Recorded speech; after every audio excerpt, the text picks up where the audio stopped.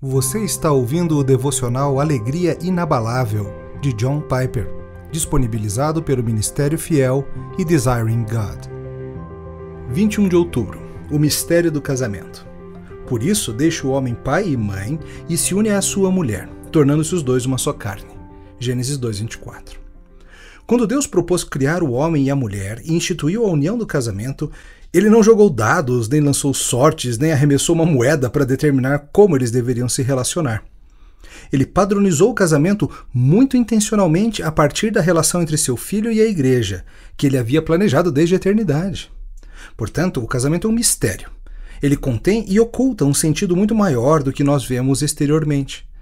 Deus criou o ser humano, macho e fêmea, e ordenou o matrimônio, para que a relação de aliança eterna entre Cristo e sua igreja fosse representada na união matrimonial.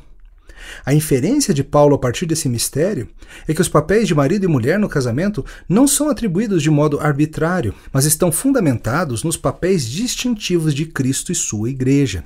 Aqueles de nós que são casados precisam ponderar repetidamente Quão misterioso e maravilhoso é o fato de Deus nos conceder no casamento o privilégio de representar maravilhosas realidades divinas infinitamente maiores e melhores do que nós mesmos.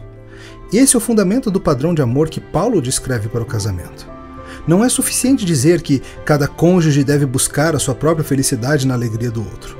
Também é importante dizer que maridos e esposas devem copiar conscientemente o relacionamento que Deus designou para Cristo e a Igreja. Eu espero que você considere isso seriamente, seja solteiro ou casado, velho ou jovem. A revelação do Cristo e da sua Igreja, que mantém a aliança, permanece sobre o casamento. Você ouviu o devocional Alegria Inabalável. Para outros recursos gratuitos, como pregações, e-books e artigos, visite www.ministériofiel.com.br.